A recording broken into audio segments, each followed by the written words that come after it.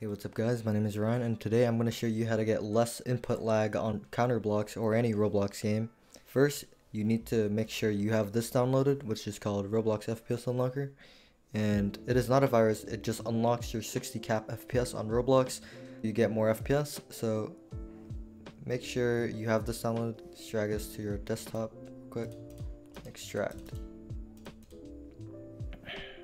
And you should get this Make sure you are in a game and then launch this and you should be set. After you have this downloaded, make sure you go to your Roblox client here, file location, right here, open file location, and once you're on here, stay here, make a new folder called client settings, and then go into the description and download what I sent, leave in the description here, called client app settings, and once you download this make sure it goes into this folder called client settings in version in this uh, this folder here. And let's load up a Roblox game.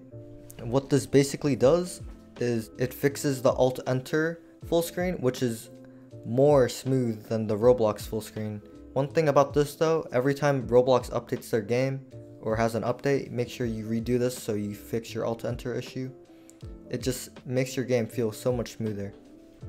As you can see, if I press shift F5, it shows my FPS counter up here, and it, just, it shows that I'm getting more than 60 FPS.